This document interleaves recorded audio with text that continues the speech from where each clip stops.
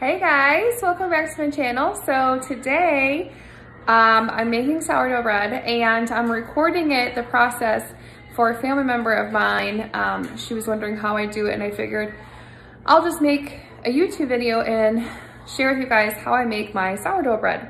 Um, it's not like, it, it, I mean, it is all day, but it's not like tedious all day thing. You just have to set your timers and make sure that you are following the tips and tricks that I'm sharing with you and just make sure you have your timer set. Um, I started at 8.30 this morning making it. So I started at 8.30 and then two hours from there I did something else. And then two hours from there I did another step. Um, so you do have to have your timer set and it is kind of an all day thing. So I started at 8.30 and then my first loaf of bread is usually done around four o'clock um, because this recipe, you get two loaves out of it. So I have one at, at like four, it's done, and then another one at like five o'clock. Because um, for me, they take almost an hour in the Dutch oven, okay? Um, so you will need though a sourdough starter. Um, let me get mine and show you what mine looks like. I've had mine for a few months now and I just remember to keep feeding it or if I feel like I'm not gonna be baking in a while, then I'll put it into the fridge and feed it once a week. Or if I know I'm gonna be baking a lot, then I keep it on my counter and feed it every day. So this is my starter. It's nice and bubbly. And I've had this one for a few months now. And I just leave this on the counter and you have a loose lid on it you don't want to have it sealed because you want air coming in there. Um, you want to build that good bacteria in there to make it sour. Um, so I'm going to experiment with this one that I have and just put a towel over and see if it rises even better for tomorrow because tomorrow I'm making more bread and then Saturday I'm making more bread for um, family members. So there's that one. That's just a regular one. And then I just started this one's a gluten-free one. I just started it yesterday, so I don't know if it's gonna turn out, we'll see. I've never made a gluten-free one before, but real quick. Okay, so real quick on how to make your own starter. This is what I've done. Um, there's a ton of different ways to start it. You do what you feel like you're doing. Um, you can also buy some off of Etsy or there's a few people on Instagram that I can recommend that you can buy from them and kind of follow their methods. There's one farmer, ballerina farmer on Instagram. I follow her and I have followed her steps for sourdough and it hasn't failed me yet. So that is what I'm sharing with you today. That's where I got it from. But anyway, to have your starter. What I started out with is like my normal starter, not this one. Um, for a normal one, what I did was a half a cup of flour and a third cup of lukewarm room temperature water. Filtered is best, but if it's out of my fridge, it's gonna be too cold, so I just use the faucet and it's worked fine. Um, but filtered is best. But anyway, I put it into the mason jar and I stir with a wooden spoon. You don't wanna stir with a metal spoon or anything like that because it could kill your starter. You wanna do it with a wooden spoon. So that's what I did. I just took the end of a wooden spoon and stirred it up and it's gonna look like thick pancake batter. That's like the best way that I could put it. So it's gonna look a thick pancake batter. And then I just place the little lid on top you don't want anything sealed. You want air coming through there. You want to build some of that good bacteria in there to make it sour. And you want it to be bubbly like this one. See how it's bubbly? When it's bubbly like that, it's active. Now, it's not going to be bubbly day one and day two. You might start seeing it bubble day three, day four. Your starter is gonna take about five to seven days for it to get really bubbly and active and you want it to like really double in size. So this is day two. So it should be ready like maybe to here. It should be ready and then you just follow the steps and um, recipe that I'm sharing with you on this video, okay? So that's how you can make your own starter. If you don't feel like making your own starter and you want to purchase from someone, I will link below the two ladies that you can purchase from They have um, really good quality sourdough starter and their tips and methods are very good as well. So I will link them down below for you to try or you can make your own. That's what I did. I um, made my own because I was impatient and didn't feel like waiting for shipping. Um, so you guys can just make your own, okay? So anyway, this sourdough recipe that I have is your starter plus more water, more flour that you're gonna need, and then salt. That's Those are the ingredients that you need. So it's your starter mix mixed with um, water and flour. And then the next step, you will see in just a minute, is adding in salt. That's all you need. You need that and pretty much your free day. So you can do it on a weekend if that works best for you because it's gonna be all day. Um, you just need to set your timers and remember to come back and, you know, fold and stretch and all that kind of stuff. So anyway, this is the video and we're gonna get started on making some sourdough bread. All right, so right now I am mixing 250 grams of the starter, 735 grams of like lukewarm room temperature water, and a thousand grams of flour, and I'm just mixing it with my hands until it all comes together. Okay, it's all mixed together, so I'm just gonna sit it on the countertop and cover it and it's gonna sit there for two hours and then I will add salt and pinch and fold. All right, so two hours, so I'm going to put some salt in. This is the salt that I use, so about 24, 25 grams of salt.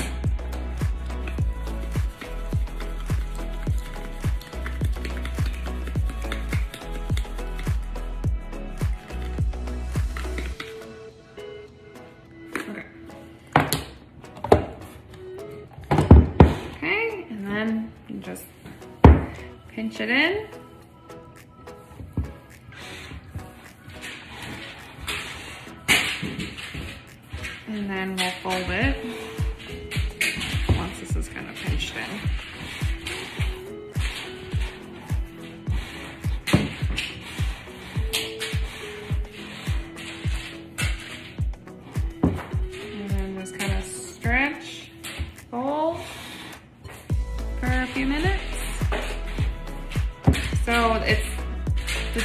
Sticky, but I can still pull it and stretch it.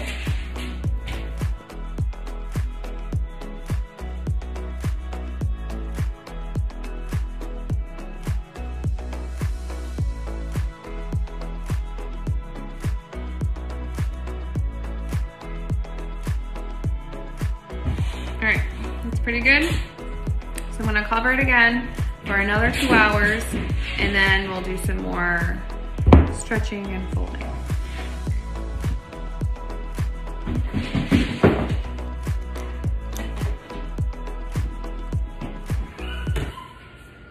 All right, so it's been two hours. Now I'm going to divide it and stretch it and shape it, and then you leave it on the counter for 20 minutes, and then you do it again. You stretch it, not as rough as the first time. You just stretch it a little bit, fold it and roll it and shape it, and then you put it into your proofing basket um, for two hours, either in the fridge or just like in a cold place so your garage could work too. So this is what it looks like. dump it out, divide it in half as best as I can.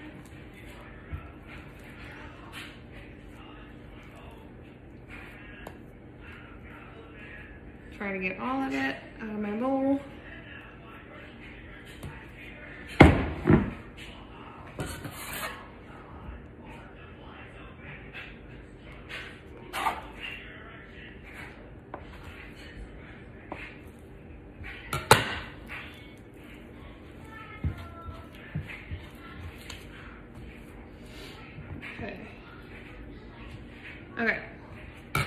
I don't flour the uh, surface either.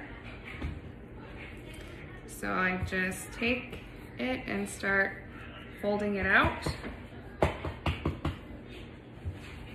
And kind of all the directions.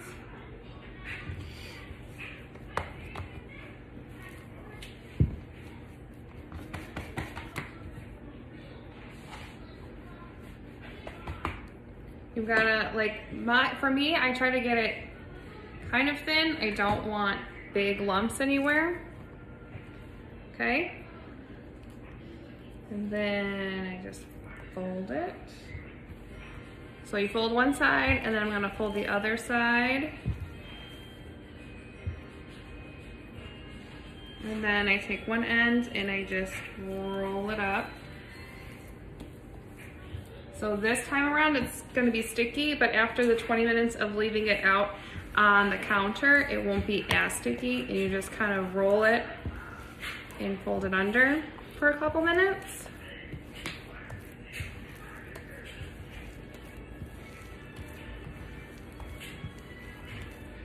So I roll and fold under and rotate it.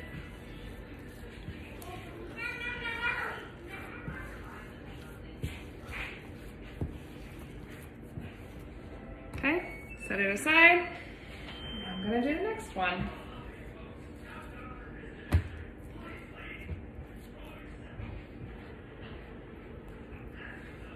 Okay. So I'm just gonna stretch it out.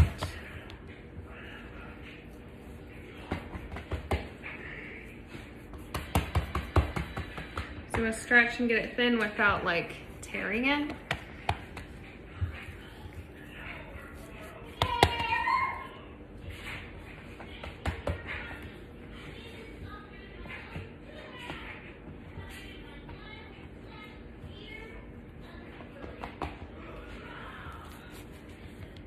All right, then fold one side, fold the other,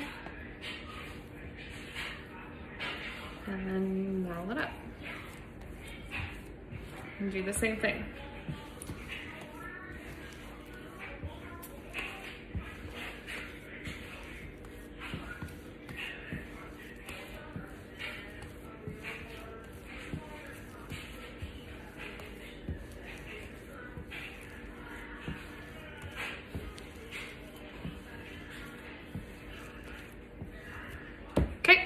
Then I leave it on the counter for 20 minutes.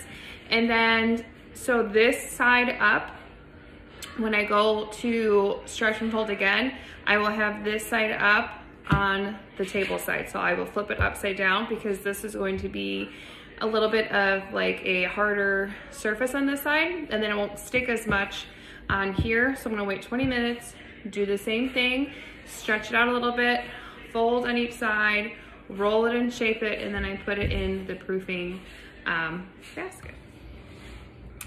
All right, so it's been about 20 minutes. It's just sitting here on the counter. So I'm going to stretch and fold and shape it again and then put it into proofing baskets, okay?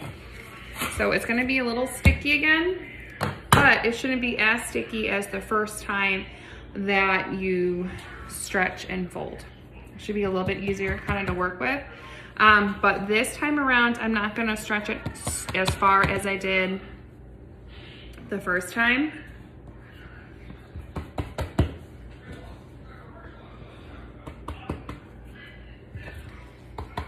Because it's gonna wanna go back to its ball shape.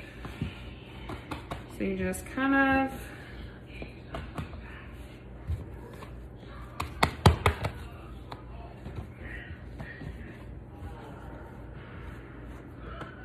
Okay, so I'm gonna fold it again. And roll it. So I'm just rolling it and shaping it into a ball. And then I'm gonna put it into the proofing basket. So the proofing basket I did line with flour.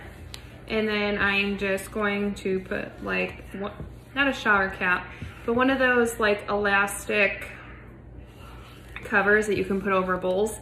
I'm just gonna put over that and then I'm gonna stick it in my fridge for two hours.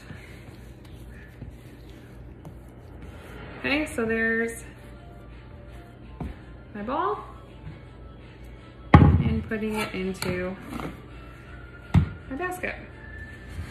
Okay, I'm gonna do the next one.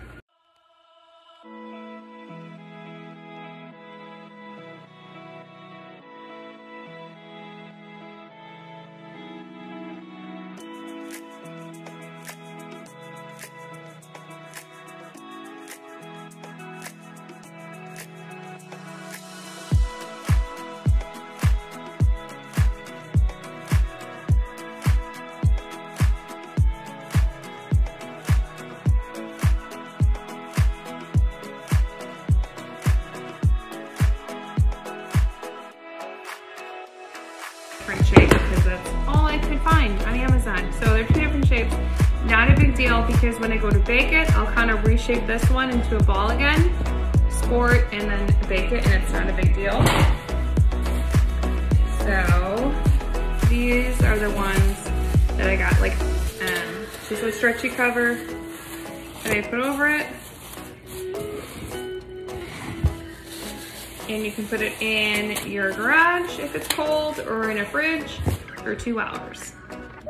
Okay, so it's been about two hours and uh, of proofing in the fridge. So I'm going to take the dough and put it on some parchment paper and then the parchment paper dough is gonna go in my Dutch oven. I have the Dutch oven preheating at 450 and has been preheating for about 25 minutes. You want your Dutch oven really nice and hot. You don't wanna put your dough into a cold Dutch oven because it won't bake and rise very nicely. You want the Dutch oven to be nice and hot.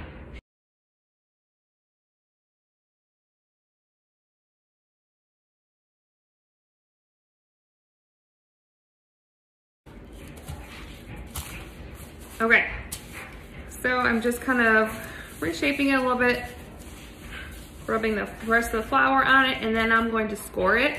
Um, I got this off of Amazon with the baskets. I will link this below. Um, I don't like this tool though. I'm gonna take the razor off of it though. It just is easier for me to um, do a little scoring design.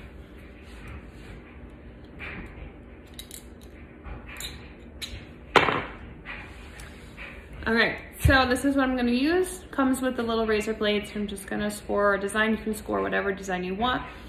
Um, this will help it rise and it just looks really pretty too.